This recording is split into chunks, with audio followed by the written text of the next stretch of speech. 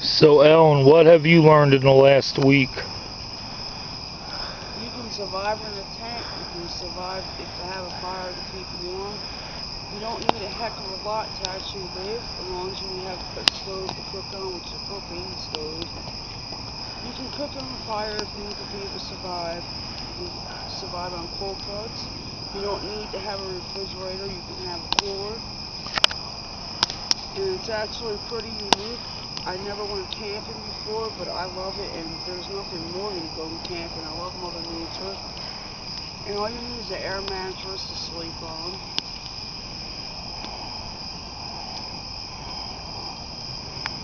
And you showed me somewhat how to put some wood in the in the pit to have a fire. You put newspaper around to make a little ball. Then we started making small twigs, and then we worked our way up the big wood.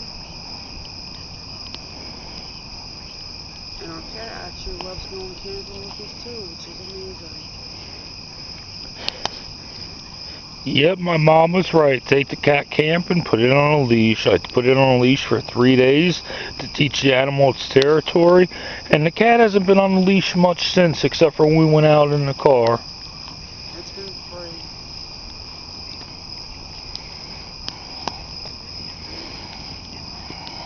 And we've taken a pallet, broke it down for firewood.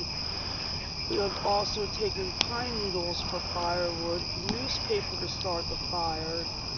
We've taken moldy wood and started a fire.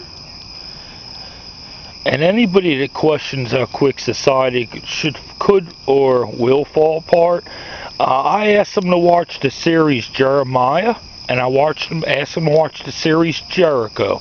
That's Jeremiah and Jericho, and it will show you how people react. Except for, I, I picked the side of goodness. Goodness shall prevail. Us good people shall win. Peace out, people.